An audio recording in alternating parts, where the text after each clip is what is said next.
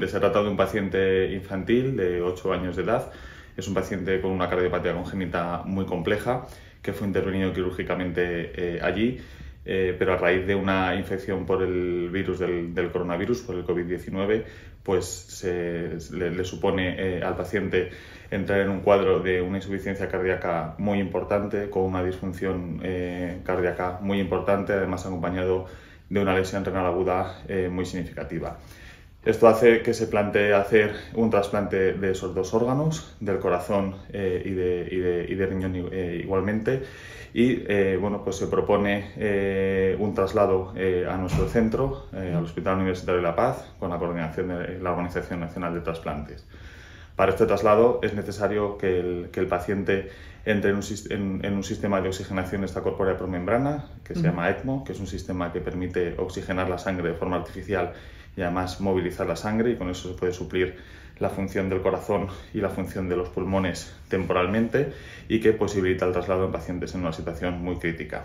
Se hace el traslado desde Oporto hasta nuestro, hasta nuestro hospital y aquí en nuestro centro, eh, bueno, pues con todo, con, el trabajo de un montón de profesionales, ya no solamente organizativos eh, y de gestión, sino obviamente todo el trabajo clínico de un montón de servicios del hospital, bueno, pues se logra con tratamiento médico y con terapias eh, de soporte artificial, se logra en primer lugar cambiar ese, ese dispositivo con el que se hizo el traslado que es un dispositivo de corta duración por un dispositivo de un poquito más larga duración, que es como un corazón eh, artificial que da soporte para, los dos ventrículos del corazón y la verdad es que con eso bueno, pues se logra mejorar de forma sustancial la función renal hasta un punto de recuperación completa. Así que es cierto que necesita terapia de sustitución renal con una máquina de, diálisis durante todo este tiempo, pero eh, bueno, pues según va mejorando eh, toda la oxigenación y toda la perfusión del paciente, pues los riñones van recuperando su función renal de tal forma que eso eh, nos facilita que, se pueda proponer al niño para un trasplante solamente cardíaco y no cardiorrenal como se ha propuesto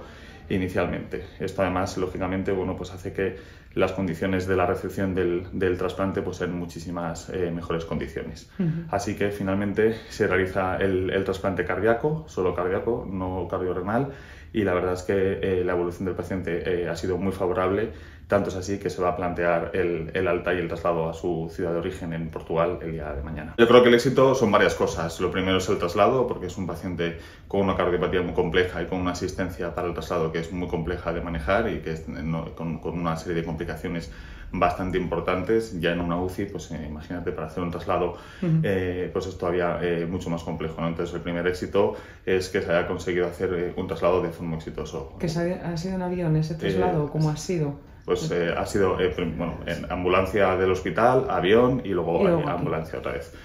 Entonces, ese es el primer éxito. El segundo éxito es un éxito de coordinación, porque aquí, bueno, pues la Organización Nacional de Trasplantes Española, la Organización Portuguesa y un montón de profesionales que se dedican a la, a la coordinación y a la gestión de todos estos traslados, la, la del paciente y todo eso es un trámite que es realmente muy complejo. Y luego el éxito, evidentemente, es un éxito clínico de los médicos responsables, tanto de los servicios médicos, quirúrgicos, como los servicios centrales que dan soporte para poder realizar todo esto.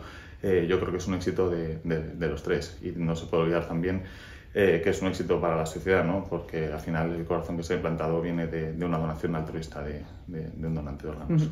¿Había habido es que el, Hospital Universitario de la Paz pues cuenta con una amplia experiencia, sobre todo en población infantil, eh, en pacientes eh, muy complejos, cardíacos y bueno, de otras patologías también. Es un centro de referencia muy importante.